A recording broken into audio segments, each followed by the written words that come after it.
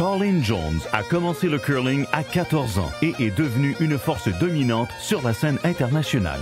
Colleen Jones began curling at the age of 14 and went on to become a dominant force in women's curling. At an early age, she gained success in competitive curling and was only 19 years old when she won the first of her 16 Nova Scotia curling titles.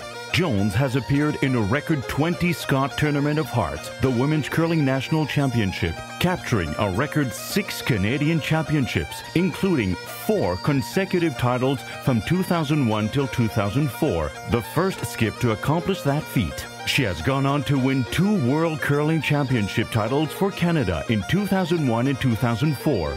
Her remarkable career was recognized when she was made a member of the Canadian Curling Hall of Fame.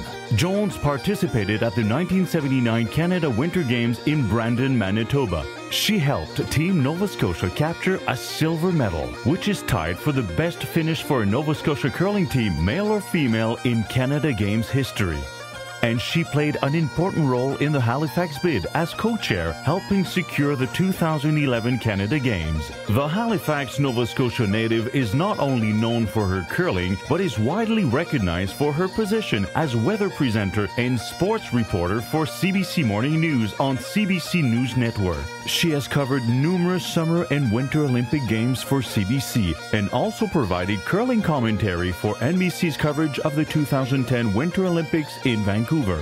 Elle continue d'être présente sur la scène nationale de curling. Elle a notamment tenté un retour à la compétition en 2010 avant qu'une lutte contre la méningite bactérienne freine ses ambitions. Colleen Jones exemplifies the passion and ability that it takes to continue to be top-ranked curler after more than 31 years on the pebble dice. She is a unique athlete that is deserving of enshrinement in the Canada Games Hall of Honor.